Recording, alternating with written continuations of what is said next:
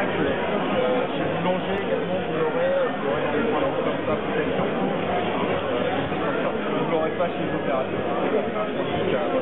Vous avez également un, nouveau système, vous connaissez là, pour le coup, vous avez un nouveau système de GPS. On a créé un menu GPS en fait, voilà comme ça.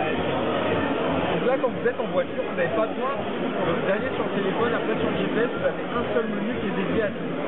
Vous allez rapidement retourner sur votre téléphone avec la fonction vocale et la possibilité d'accéder à vos favoris directement. Vous aurez aussi la possibilité d'accéder à vos points d'intérêt, vos favoris, avec des icônes très très, euh, très sympas. Et vous aurez aussi la possibilité de je prends une destination. Je vais faire donc des euh, historiques, tourner à Beauvais par exemple.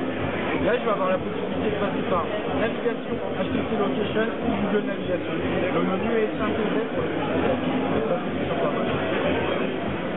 Et là, donc, navigation premium, passe par HTTP Location, on a parlé tout à l'heure. Même si je peux l'utiliser même supporte et le format On peut vous montrer une petite vidéo si vous souhaitez. Je t'aide à faire les animaux. C'est comme la différence entre les Je peux accéder à ma liste des métiers. Donc hop, par exemple, euh, B, les Black Eyed Peas. On peut voir les morceaux, les albums.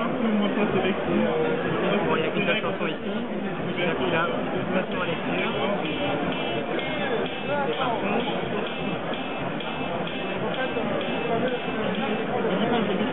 Par contre, je sais pas comment on règle le son. C'est un peu problématique.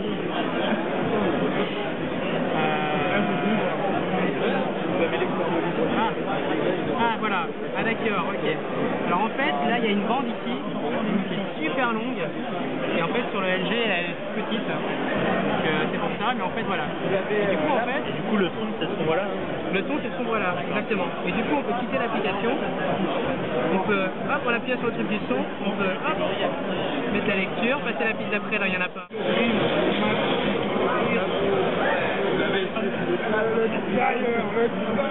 C'est la radio aussi. Qui est plutôt joli en fait. Bon là il n'y a pas d'antenne. D'ailleurs c'est assez bizarre parce qu'il n'y a pas d'antenne. Le téléphone utilise des écouteurs. Ah oui, parce qu'en fait, Ouais. il faut avoir, euh, ouais, il faut avoir le L'écouteur. avec antenne. Et par contre ce que j'aime bien c'est euh, comment voilà, c'est